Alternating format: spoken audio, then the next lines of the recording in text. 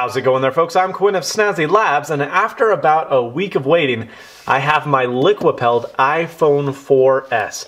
Now, this is a nano hydrophobic coating that is put onto your iDevice, or really any device.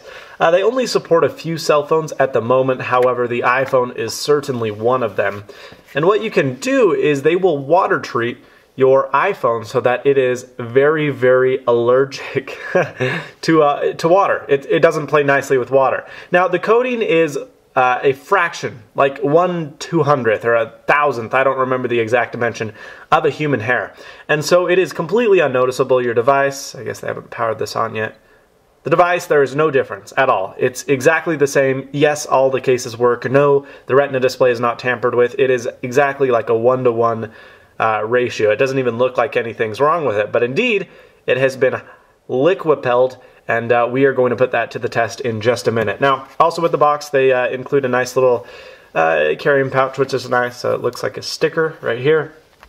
A warning now, this is where they tell you not to do everything I'm going to do.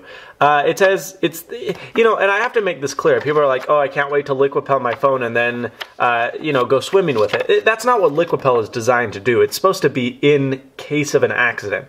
So if for example, you drop your phone in the sink or in the toilet or in the shower, don't worry, your phone's fine. But it's not like, hey, let's drop my phone in the sink because it's a Liquipel. Uh, that's that's not what it's designed to do. But of course, for the sake of testing, that's what we will be doing. Uh, nonetheless, you probably shouldn't do it if you choose to liquipel your phone. Now, 60 bucks, uh, I feel is like a screamingly good value. Uh, supposing this works, again, we're going to put that to the test in just a minute. But yeah, I mean, the screen is exactly the same. There's no difference. Uh, I'm pretty excited to see how this thing works. Now, they also include a tissue here uh, that has been Liquipel treated. And for those of you that don't exactly know what Liquipel does uh, or what a hydrophobic coating uh, is all about, I want to show you. So as you can see here, uh, we have a tissue. Uh, it feels like regular tissue. I mean, there is no difference. Uh, color, feel, texture, uh, weakness is all the same. I mean, it's just a tissue. However, uh, right here we also have some green water. Now this water has food coloring in it. Now, first of all, what I can do is I can take my Liquipel tissue right here and grab a tiny bit of water in my hand, hopefully. Look at that. So as you can see on this tissue, uh, it's completely resistant. Uh, the beads, I mean, the water just forms into beads, and you can see they completely just roll around any which way. Uh, it's pretty wild. And it's still water. I mean, if I touch it, my finger gets wet. And if I roll it off of the thing, it goes straight onto my uh, my canvas here, okay? But what happens with this paper, with this tissue, is it doesn't allow water to uh, absorb into it. It just beads. Even that little wet dot stays there. So that's pretty wild. I do want to show you kind of one more example. Uh, right here I do have my, my tissue. Let's take this and place it down into the water. As you can see, I can push it all down in there. I bring it up and it is completely dry once I shake it off. That is nuts.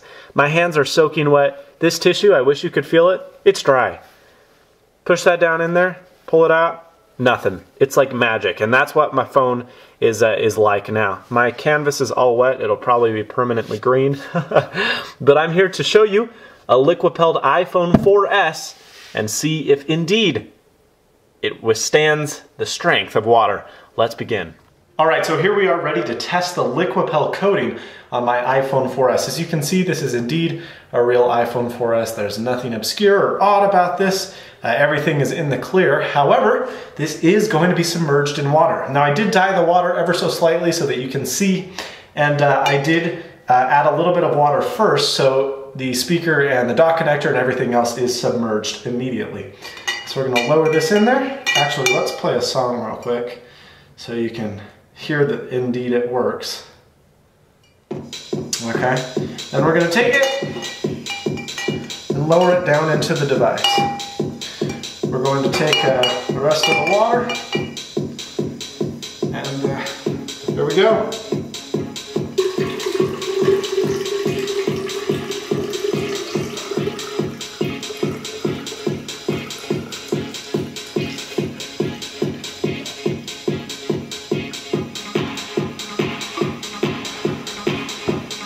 iPhone is fully submerged now. Can pull it out. Skip songs there. Still seems to work. We're gonna lower it back down.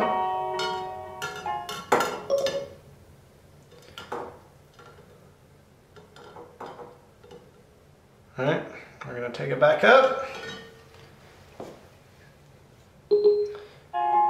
Now, the reason Siri's engaging is it asks you to deactivate the phone after it's been submerged. Obviously, we're not doing this, so I think it's falsely triggering the home button. However, everything else appears to be working. Uh, we can wipe this off here. And as you can see, water is going to be coming out of the dock connector and lots of other places because there is actually water inside of the phone. And uh, they do recommend that you let it dry out for up to 24 hours without charging it, without doing anything else. But the phone is completely uh, and easily ready to go. So let's, uh, let's take it one more time and we'll empty all this water out.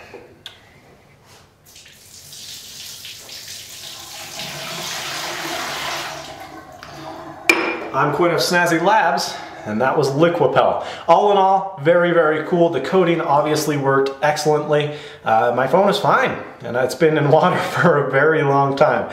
So I will do uh, about a 24 hour wait to make sure the home button and everything else that was being kind of weird, uh, weird does in fact work. But uh, all in all, it appears to be uh, absolutely fine. So there you go. I'm Quinn of Snazzy Labs. Worth 60 bucks. I'd say so. Again, it is a uh, it is a preventative measure. It's not for uh, doing just so you can uh, water soak it. It is just in case you have an accident. But it works, and I can attest to that. I'm Quinn of Snazzy Labs. Thanks for watching, and as always, stay snazzy. See you later, folks.